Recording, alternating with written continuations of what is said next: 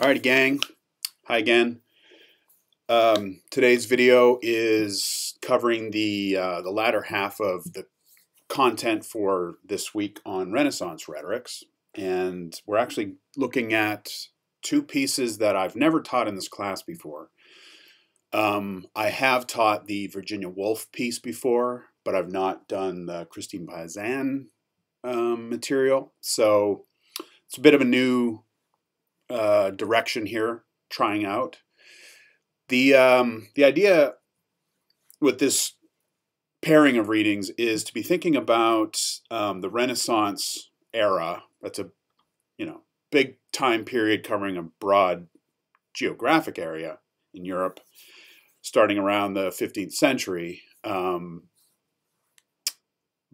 and we're coming at this much in the same way. I, hopefully, you remember the the reading by Hannah Arendt when we were very first starting out uh, this semester, looking at ancient Greek life. Right? Remember, I was talking about rhetoric as a social practice, something that people do um, that kind of comes out of the ways that we're living together. And we talked about the rise of democracy and the rise of rhetoric kind of coming along with that as this kind of necessary new form of social practice. And then the theories were kind of coming out of that new practice, right? So we have all of these theories talking about sort of the principles of the practice. Um, but for me, at least, the the sort of the social structures and the history itself and how people are living together and what they're doing is the primary kind of concern in terms of like how rhetoric matters and what it is and what it does. So, you know, we've now shifted into the sort of the onset of what we now think of as like the modern period, modern life, um, the Renaissance period.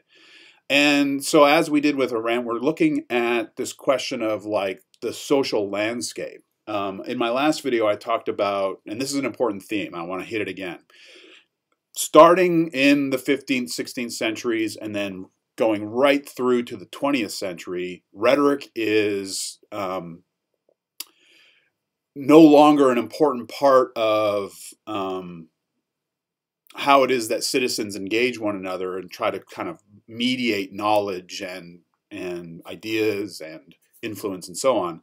Rhetoric, as Herrick notes, is important in the Renaissance period, but it has a different kind of social function.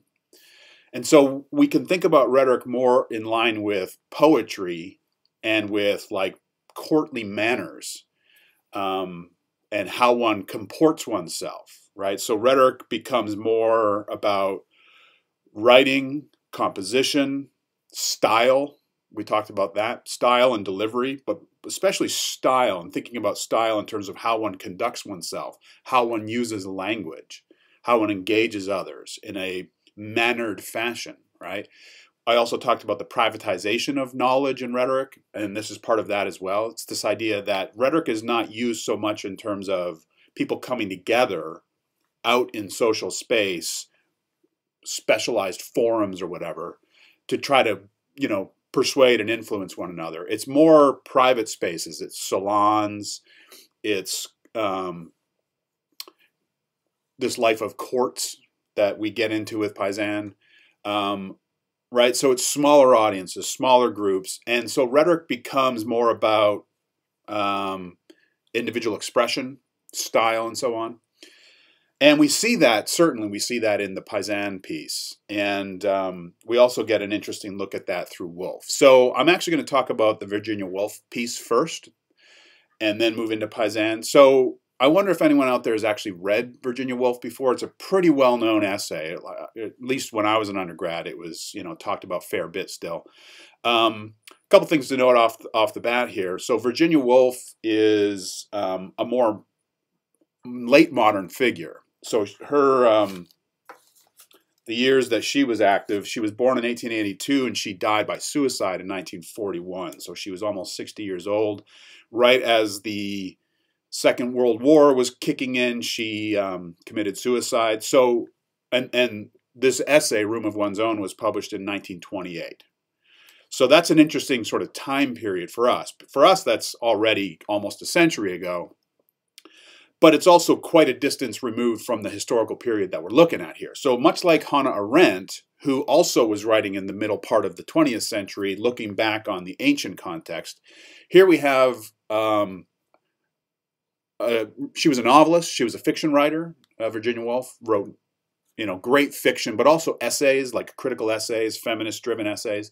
And she was doing this in the early to mid part of the 20th century, looking back on, at least in this piece, looking back on you know the early modern period the the 15th 16th century which was when shakespeare was active 16th century all right so the reason i wanted to look at this piece is i there's actually few essays that bounce around in my brain or have bounced around in my brain as much and as long as this particular essay has like i read this um, pretty sure it was an undergraduate literary theory seminar I took as an undergraduate, as I was an English major, and I took this brilliant class on literary theory. And I think we came across her stuff there. The reason I love this essay so much, my own work over the years has gone in the direction of materiality and, and thinking about conditions, physicality, right? And so it's how it is our like our physical built world and our environment and so on kind of shapes our abilities and behaviors and possibilities and even our kind of thought processes and so on. So what Virginia Woolf is up to is, you know, this is a feminist critical essay thinking about why it is that women have not produced more and more brilliant works of literature. And so she's going at this by asking this question of like, if I go to the history shelf and I just start pulling down history books, I'm going to find all kinds of guys and men in there and you know doing all their militaristic things and their political things and inventing things and so on and so on. But she's like where are the women in the history books? What were they doing? Why aren't they mentioned or featured? Why weren't women a, aren't, why aren't women a part of the historical record more so right and her particular interest is in literature and in, the works of shakespeare shakespeare obviously known as, as one of the greatest most brilliant um, fiction writers of all time in the English language. And um, she's using his genius as a way to think about the question of conditions, right? And this fascinating, fascinating little kind of thought experiment about Shakespeare's sister. Um, there's even a band back, I think it was in the 80s, there was a band kicking around called Shakespeare's Sister, had a couple of popular tunes. Um, and I'm wondering if that's a reference to um, the Virginia Woolf essay. So uh, I'm not going to go through all the little details of this, but I absolutely love this essay and this part of this essay where she's kind of trying to imagine the social conditions. This is kind of what we're interested in here, right? So again, with Arendt, the social conditions in ancient Athens or ancient Greece was such that you know, we had the home and then we had this sort of the public space, very separate from the home. And it was the men, the head of the house, who were able to kind of step away from the domestic space, the private space, to enter into this public realm of engagement. And this is the, the realm of excellence and action and speech and greatness and freedom and so on, right? Now in the in the early modern period, in the Renaissance period, we have a different kind of social situation. Arendt actually talks about this uh, if we were to continue in that chapter she talks about this thing called the rise of the social. So in the modern period we lose this old distinction this ancient distinction between the home and the public realm. And that kicks in with what we said about the privatization of knowledge right? The public realm that we talked about in the in the greek and roman context doesn't really exist in this in that way anymore right and so rhetoric takes on this kind of weird new function of being more private more about how one conducts oneself how one engages with others in a kind of stylized way, you, the use of language and the manners of, of language use and so on. All right, so she's looking at the kind of the social conditions and the social structures and the social spaces of that that period that we're looking at here. And she's doing it imaginatively, right? This is um it's a nonfiction essay. This is Virginia Woolf writing kind of her thoughts about the status of women in the early modern period. Um, but it's not this isn't like historical nonfiction, data driven. It is that, but it's also imaginative. In fact, she even says um, in the kind of key moment on page 2267 here, um, that bottom paragraph, it says, uh, I could not help thinking as I looked at the works of Shakespeare on the shelf that the bishop was right at least in this. It would have been impossible, completely and entirely, for any woman to have written the plays of Shakespeare in the age of Shakespeare. Let me imagine, since facts are so hard to come by, and then on she goes, right? Now, this is where her novelistic qualities and strengths really kick in. And one of the things I love about this piece is because she's thinking about historical social structures, right? How it is that you know daily life was lived in the home and in society, and and but she's doing that in this really beautifully sort of detailed rendered this way of of like sort of thinking about the past novelistically, right? As though she were kind of recreating scenes in a fictional way, but it's not fiction. It's this kind of historical imagination that she's doing. Um, but she's getting it really, really detailed um, look at what life would likely have been like for a young girl had she, you know, been the sister of Shakespeare himself, William Shakespeare.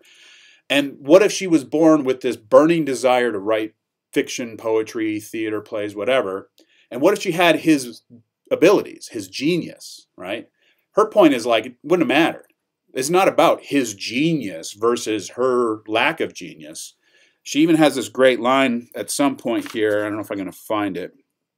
Um, something about how the genius, you can't find works of genius amongst the like the laboring classes and the and so on. The point being like in order to be able to create and compose one's contributions, literary contributions, you need 500 a year and a room of one's own. That's sort of the final kind of big payoff, right? That's she's thinking about the material conditions, right? Shakespeare himself, William Shakespeare, Bill, would have been able to kind of take some time off. He could go on walks. He could take a little vacation. He could spend time in the city with his fellow, you know, his, his pals, drinking, imagining, you know, new stories, right? He would have had the time. He would have had that sort of privileged, structured time that young girls would not have gotten, right? So the pages on 2267, especially 2268, is where she's going through this kind of historical reimagining of the life of Shakespeare's sister. Um, and I just love it because she talks about, you know, education, the fact that Shakespeare would have, William would have gotten education. And I love the fact that she noticed, um, it says here, let us say, Shakespeare himself went very probably, his mother was an heiress, to the grammar school where he may have learned Latin. Latin was still considered like the ultimate kind of educated language. Ovid, Virgil, Horace, the greats and the elements of grammar and logic. I found that very interesting. Um, that actually hits perfectly on what we talked about in the last video, this sort of demise of rhetoric thanks to Ramus, Peter Ramus, who came along and said, you know, rhetoric is basically just like poetry and invention, discovery, knowledge, ideas, that belongs over to, to philosophy and logic. So here we've got grammar, sort of the arts of composition and expression and syntax and so on. And then over there you've got logic, but there's no rhetoric. Notice this, right? So, you know, several hundred years ago, you would you would probably have heard her write something like grammar, rhetoric, and logic. But here, she's noting that just grammar and logic are um, what a young schoolboy would have learned. So, rhetoric is um, again different. It's it's more about style, poetic expression, and so on. But that's not the main point. The main point is that you know she's playing out this idea that William Shakespeare would have had the time, would have had the privileged time. This idea of privilege is pretty key throughout all this. You know, he would have had the ability to um, to step away from kind of the the daily. It's sort of like a version of what Arendt was saying, like being able to step away from the the necessities of domestic life and private life. William Shakespeare would have been able to um, to enjoy some separation from that. Whereas uh, Judith, that's the name she comes up with for his sister, she would have been, you know, compelled to like just focus on house chores. And if she she expressed to her father that she wanted to write, so everyone would have discouraged her. She if she was trying to write poems, she'd have to do it up in an attic somewhere, and maybe she would hide them or burn them or something like this. I love all these like little novelistic details that she gives and trying to capture like actual existence at this time, right? You know, she might not have wanted to get married, but everyone kind of compelled her to get married, and maybe she even ran away. She ran to London so that she could be, you know, amongst the, the scene of theater and playwrights and actors. But back then, if I don't know if anyone remembers um, Shakespeare in Love, uh, very famous movie from back in the like '90s, I think, um, with Gwyneth Paltrow and and um, Ralph Fiennes. No, Joseph Fiennes, his brother.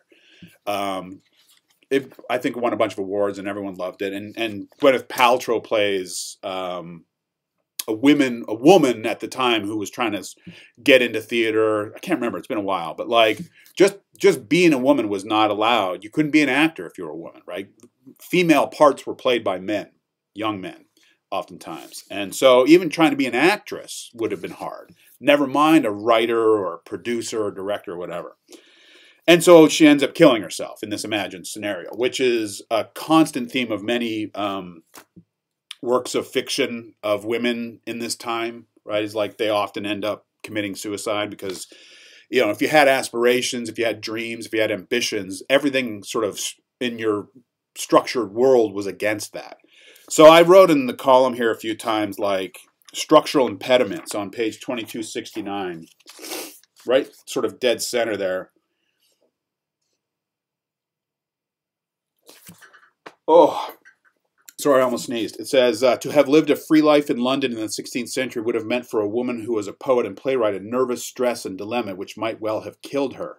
Had she survived, whatever she had written would have been twisted and deformed, issuing from a strained and morbid imagination. So, another one of the things I love about this essay is she's thinking about the relationship between subjectivity and structure, right? Um, which is just a, I think, a brilliant way to think about how it is that things take shape in important ways. Subjectivity being sort of our minds are interior lives, right? So she's looking at Judith's subjectivity or this, you know, this creature, this imagined fictional creature from the past, um, what it would have been like, not just in terms of daily life, but like what one's going through internally, the struggle and the way that struggle comes might have come out in these works. Like think about the works of Emily Bronte or um, um, you know Jane Austen, like the the tortured, troubled Emily Bronte in particular. My goodness, uh, Wuthering Heights is is pretty pretty grim stuff, pretty tortured stuff. But again, it's it's like think about your con, your place in the world of social structures and conditions, and if you had any ambition, if you were a young girl and you wanted to write, if you wanted to travel, everything was against you, right? And so Virginia Woolf is really drawing attention to those kind of structural impediments and obstacles, um, thinking about that early modern period, right? Now, that's an interesting setup for Pizan, which we'll get to in just a second here. But, you know, it gets to this question of, of what a society privileges and, um, and how it structures itself in, in terms of those privileges, right? So um, she says toward the end, something about the indifference, right? So the bottom of 2270, she says, but for women, I thought, looking at the empty shelves, these difficulties were infinitely more formidable. In the first place, to have a room of her own, let alone a quiet room or a soundproof room, was out of the question unless her parents were exceptionally rich or very noble, even up to the beginning of the 19th century. Um, and then it says, such material difficulties were formidable, but much worse were the immaterial. So she's been focusing on the material conditions, right? Like, you know, how much money one had, how much room, physical space, how much time they had. These are all kind of physical, material realities. But what about the immaterial? And then she says, the indifference of the world, which Keats and Flaubert and other men of genius have found so hard to bear, was in her case not indifference but hostility. Right? So again, thinking about the kind of priorities of the dominant priorities of society at any given time are going to find expression in its social structures and you know her account of William Shakespeare, I wrote in the in the margin there, social grease. Like if you were a guy and you were a talented guy, there was grease all around you, right? Like the guys at the theater would know you, they'd welcome you in. If you were a woman, not only not grease, but like Velcro holding you down to the ground, kind of idea. Um, so I think this is an absolutely brilliant essay in terms of thinking about past conditions that give rise to one's ability um, to be successful and accomplished or not, right? And and what we see here is a world of well, as we know, this is a world of like manly science, philosophy, right? It's still a world where guys are sort of sorry, screen froze. Um, what am I at here? Twenty minutes. So yeah, still a world where guys are um, you know in charge of all the major social structures and the laws and dominant industries and women, we were still relegated to the private sphere. And what you see here is this longing to get out of that and to do more. And why why couldn't we? Why isn't there more great works of literature from women? She provides a brilliant accounting of this. And so at the end, um, this great, great moment, this great line, kind of the big payoff line, this is 2272, it says, just above the middle of that last paragraph, it says, For my belief is that if we live another century or so, I'm talking of the common life, which is the real life, and not of the little separate lives which we uh, live as individuals, and have 500 a year each of us and rooms of our own, if we have the habit of freedom and the courage to write exactly what we think, if we escape a little from the common city room and see human beings not always in the relation to each other, but in relation to reality in the sky, on and on and on. If, if, if, if, if. Now, just before this, she has admonished her audience of, of women. You know, again, this is 1928. It's actually 1929 on this page here. She's admonishing women. She's saying, look, you can go to college, you can vote, right? There are structures that are now available to us that were not available to Judith Shakespeare. And so she's kind of like encouraging and prodding her audience to kind of like go.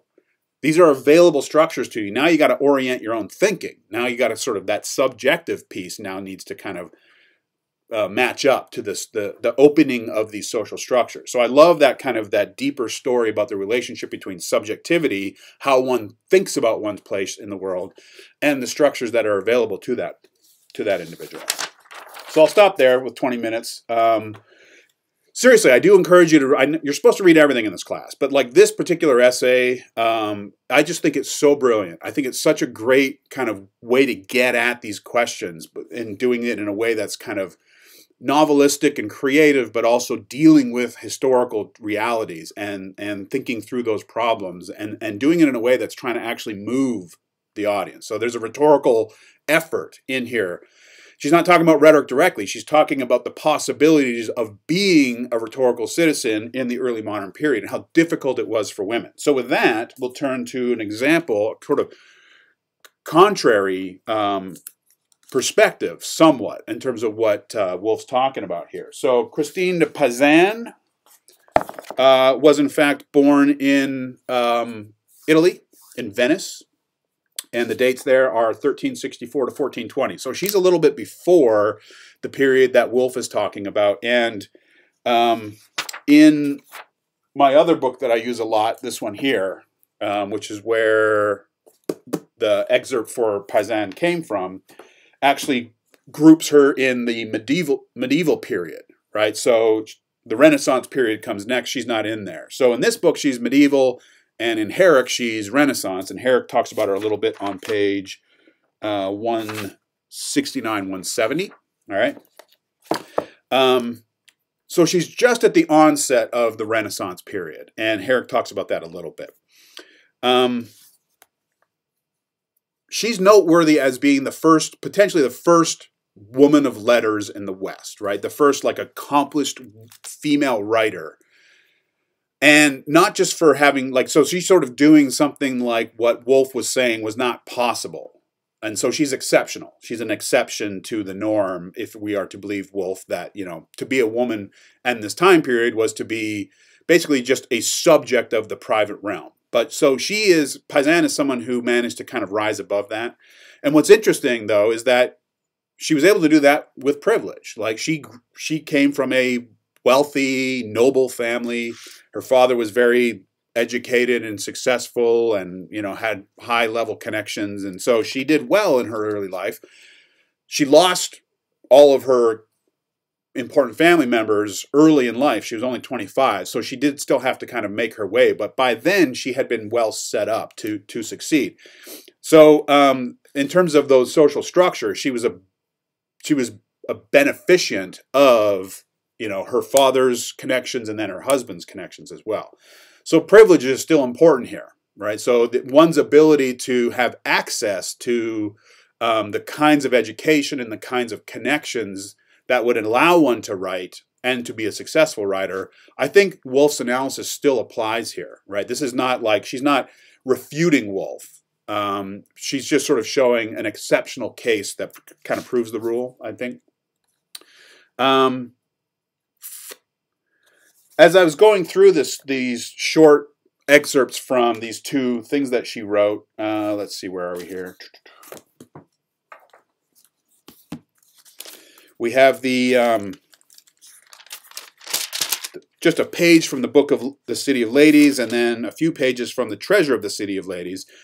What's interesting, I mean, there's not too too much that's complicated going on here, but it's a fascinating um, sampling of you know what a a young female writer would would write um, in the uh, what was date on this one? Sorry. Um, I think it was like early 15th century, like 1407 or something like that.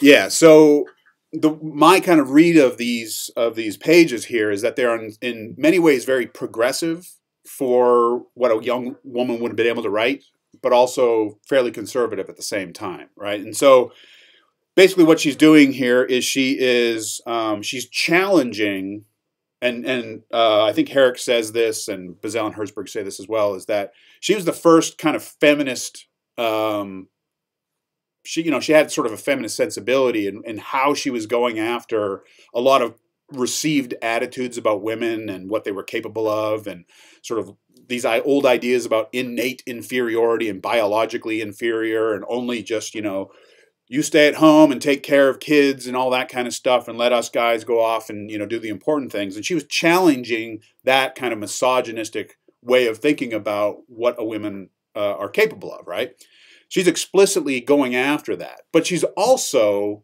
especially in that first one that first uh, the book of the city of ladies um, no, not that one. Sorry, uh, the treasure of the city of ladies. Um, these virtues that she's talking about is quite interesting because she's basically suggesting that women have power, as um,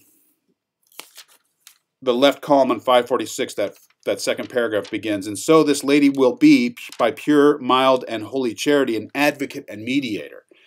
So she's talking about women who are in fairly privileged positions being able to influence their husbands, their their fathers, other powerful men of the court. Um, so they can they can perform this function of kind of speaking on behalf of others who have less power, right? And so they have influence, and she's advocating for women to use influence in sort of political affairs and civic affairs.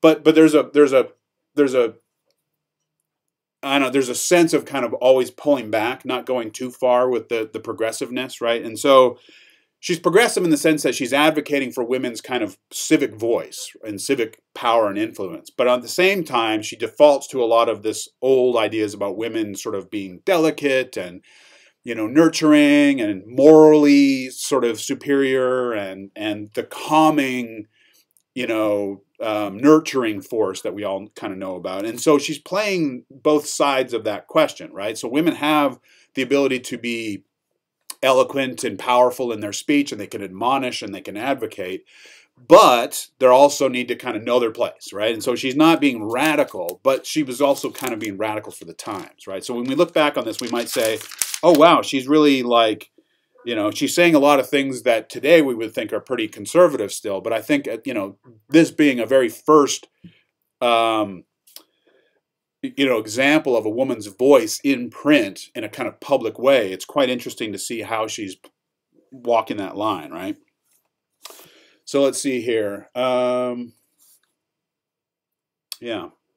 And you know especially toward the end there on um, when she's talking to um, at first she's talking to print this sort of the noble princess but then she starts talking to other lower women of the court and it gets really weird. Like if you're if you're a princess and you have power, then you can wield that power in these ways. But if you are a lower member of the court, then you must realize that you are dependent on these higher, you know, wealthier, more powerful people, and you should just shut up. So it's it's a bit of a contradiction I noted, in the sense that early on she's talking about sort of the moral clarity of of being a woman and knowing kind of like what's best and you know how to wield that. But then later on, she's noting, but if you are more subservient, then you should basically just hold your tongue. And there's a moment where she says, even if, number seven there on 549, how women of the court ought to be very careful not to speak evil of their mistress, right? So if, even if you know your mistress is like wrong and doing something terrible and evil, hey, and it's actually confirming Woolf's ideas. Like materially speaking, in terms of your conditions, you are beholden to this person. So you got to just shut up. You got to hold your tongue. So there's an interesting sort of theory of power in here as well, hierarchy and where one belongs and what kind of rhetorical abilities are available to you based on where you are in the courtly order, right? Um, so last thing I would note here uh, can't seem to get these under 30 minutes, but it's fine. We're almost done. So last thing I would say is to echo something that I think Herrick or Bizzell and Herzberg say, which is um, neither Woolf nor uh, Pizan are theorists of rhetoric. And Pizan in particular is of interest here. She's the one who's in our, our history book. Um, she didn't theorize rhetoric. She talks about it a little bit. But what's mostly interesting here is how she uses rhetoric, right? In terms of her language, in terms of her ability to compose and be a member of a kind of social order where she is leaning in through her writing and through the kind of style of thought.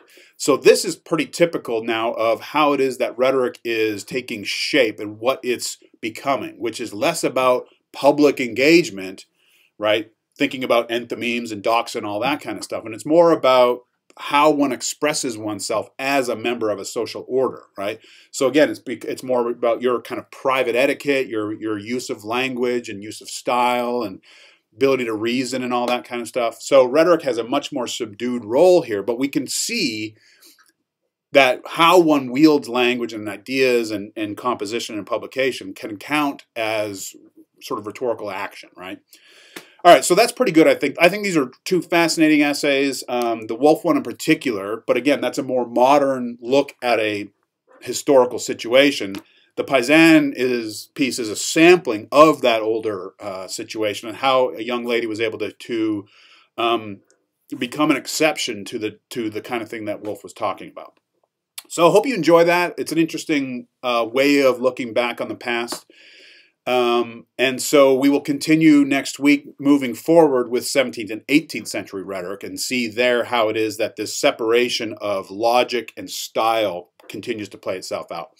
Um, midterm grades are coming soon. I actually have a fair bit of work right now, um, despite our you know quarantine. So I'm getting there. It's on the list. I'm going to get to as soon as I can. Hope all's well. Reach out if you need to, and see you soon.